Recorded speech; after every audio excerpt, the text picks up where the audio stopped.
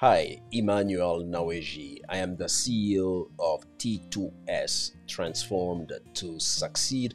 In this video, I just want to welcome, officially welcome you as a new student in our program. And I'm going to just give you a little bit of uh, kind of like a descriptive uh, information or uh, just uh, overview of our program.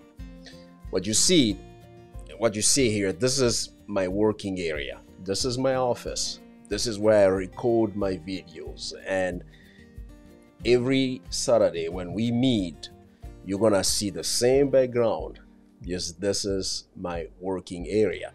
I'm gonna jump right into the first thing that we're gonna cover throughout the program we'll be talking about Linux.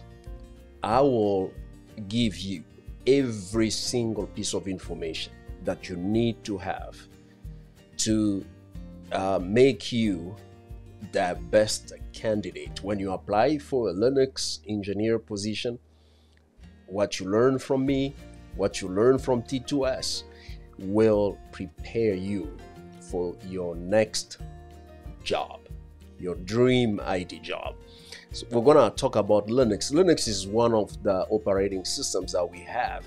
Um, as far as computers or servers are concerned, you have Linux, you have Windows, and you have Unix. Unix is kind of like the grandmother of Linux, but Linux is what what they use, uh, like AWS, Google, Microsoft Azure. These are cloud platform, uh, computing platforms, they rely on Linux as, as kind of like the main, uh, the foundation of their infrastructure.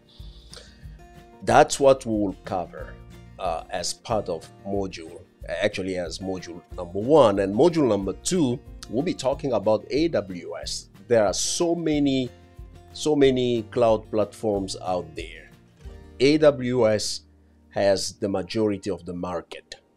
So if you have skill sets as a cloud engineer based on AWS, you are likely to get a job as soon as you can. We will not cover the entire uh, Amazon Web Services platform, but we will cover the key, uh, the key services or the primary services that you need to know of and which you may be uh, using as a Linux engineer, we will go into more details, into more depth as we study together and train together. And number three, uh, the third module, it's going to be DevOps.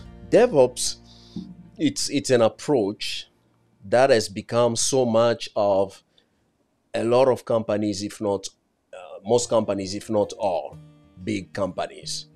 IBM, AWS, uh, even our government, the governments, the American government, uh, the French government, uh, you know, Australian, Canadian, all of these entities, they rely so much on DevOps. De- DevOps, it's an approach. It's a, it, it's a team of people that kind of like a bridge or create a bridge between the people working on the back end, like uh, those who write software and programs and applications. So that's the back end. Then you have the front end. These are the operations people, ops. So you have dev from developers and ops from operations. So your role as a Linux engineer with DevOps skill sets, you're gonna take care of the infrastructure to help to help uh, the people on the back end and the people on the front end collaborate or communicate. So you take care of that infrastructure. And we're going to learn not all of the DevOps tools, but we'll learn just a few to help you get going with your Linux engineer skill set.